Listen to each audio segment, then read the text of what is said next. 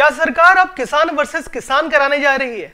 क्या किसान आंदोलन को कोर्ट कचहरी के चक्कर में फंसाने की कोशिश हो सकती है? ऊपर से यह भी लगता है कि सरकार लगातार किसानों के साथ गतिरोध दूर करने की कोशिश में है। लेकिन जब आप करीब से देखेंगे तो इस कोशिश पर शक होने लगेगा। 8 जनवरी को आठवें दौर की बैठक भी बेनतीजा रही। लेकिन बात सिर्फ़ इतनी नहीं है। ऐसा लग रहा है कि बात बनने के बजाय और बिगड़ती जा रही है।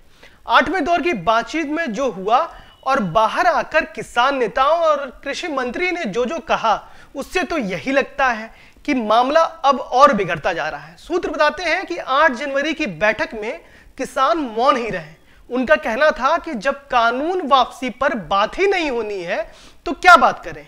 समझ में यह नहीं आता कि जब सातवें दौर की बातचीत में भी बात यहीं पर अटकी हुई थी तो ये आठवें दौर की बातचीत की बुनियाद ही क्या थी?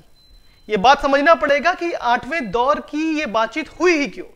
कोरोना संक्रमण के खतरे के बीच हज़ारों किसानों का एक जगह जमा हो जाना, कम कपाती ठंड में किसानों का खुले आसमान के नीचे रहना, इन सबके बीच ये आंदोलन खत्म कराने पर सरकार कितनी गंभीर है, यही सवाल है और बड़ा सवाल है। क्योंकि 8 जनवरी की बैठक में दोनों ही पक्षों का स्टैंड वही पुराना था। ऐसा लगता है कि सरकार थकाने की टाल मटोल करने की कोशिश में लग रही थी। वहीं किसान नेताओं का रुख साफ़ था, पुराना था कि किसान कानूनों की पूरी तरह से वापसी हो, इसे वापस लिया जाए। अब देखिए बैठक के बाद क्या हुआ। बैठक खत्म होने के बाद कृषि मंत्री ने एक सवाल के जवाब में कहा कि अभी तो हम उन किसानों से बात कर रहे हैं जो कानूनों के खिलाफ आंदोलन कर रहे हैं, प्रदर्शन कर रहे हैं।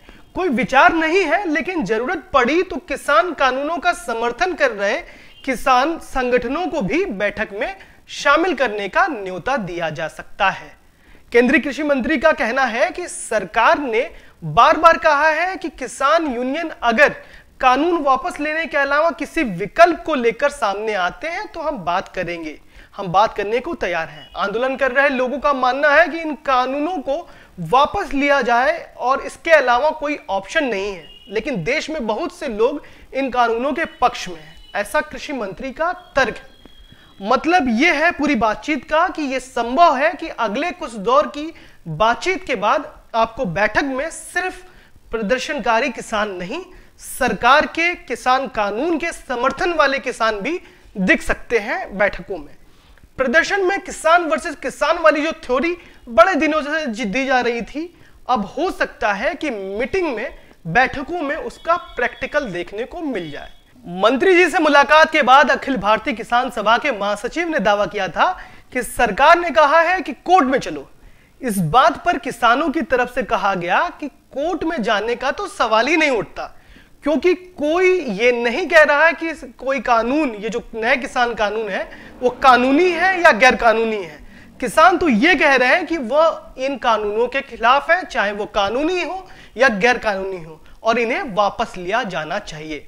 सरकार की तरफ़ से अगर कोर्ट में जाने की बात कही गई है ऐसा दावा किया जा रहा है तो इसका मतलब है कि सरकार इस बारे में भी सोच रही है या सोच सकती है कि किसान प्रदर्शन के खिलाफ अगर कोर्ट की तरफ़ से कोई कमेंट आ जाए या कोई आदेश आ जाता है तो प्रदर्शन की धार को कमज़ोर किया जा सकता है। अब कुल मिलाकर बात यह है कि सरकार और किसानों के बीच का ये जो गतिरोध है, ये जारी रहेगा, आगे भी जारी रहेगा। किसान 7 जनवरी को ट्रैक्टर मार्च कर 26 जनवरी के ट्रैक्टर परेड का ट्रेलर दिखा चुके हैं। इस ट्रैक्टर मार्च में ही किसान नेता राकेश टिकैत ने क्विंट से बातचीत में कहा था कि ये तो रिहर्सल है और हम, यानी किसान, मई 2024 की तैयारी करके आए हैं।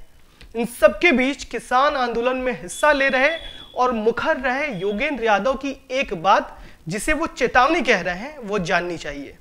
वो कहते हैं कि अगर ये लड़ाई किसान नहीं जीतते तो अगले 20 साल तक कोई किसान आंदोलन इस देश में नहीं होगा। लोग हंसेंगे कि दो लाख लोग कुछ नहीं कर सके तो ये दो हज़ार या दो सौ लोग क्या कर लेंगे? शायद किसानों को ये बात पहले से पता है और वो अपनी मांगों पर पूरी तरह से डटे हुए हैं।